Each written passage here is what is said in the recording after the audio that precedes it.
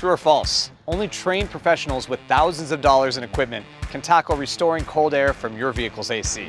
Answer? False. In this video, we'll discuss some basic AC education.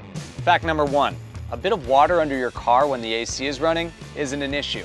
Condensation from your car's AC system creates a puddle. If it's colorless and odorless, it's harmless to you and your car. Another fact, the AC system is used even when it's cold out. Running the defroster draws out humidity and moisture, which prevents the windshield from fogging. It's counterintuitive to run the AC in the cold, but it's crucial to keeping the components working for the hot months. Our next fact is that coolant is not refrigerant and vice versa. Coolant is a liquid, sometimes referred to as antifreeze, and is used to keep the engine cool, not the people the car transports.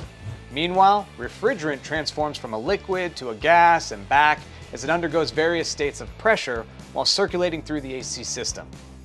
In short, this keeps your AC blowing cold and you comfortable. A related fact is that the AC system doesn't use up refrigerant.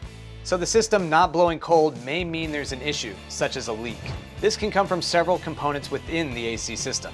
Recharging with AC Pro is the easiest way to seal common leaks in rubber O-rings, gaskets, and hoses. On the topic of recharging, the system's pressure may drop briefly after letting go of the trigger on an AC Pro gauge. This is because the compressor is cycling on and off. And it's also why reading the pressure must be done when the compressor is running. One more fact to consider is that refrigerant doesn't go bad in the can, meaning you can keep leftover refrigerant when you're done recharging the AC system. Be sure to store it in a cool, dry place that's out of direct sunlight. Thanks for recharging with AC Pro, and be sure to check out all of our products at acprocold.com.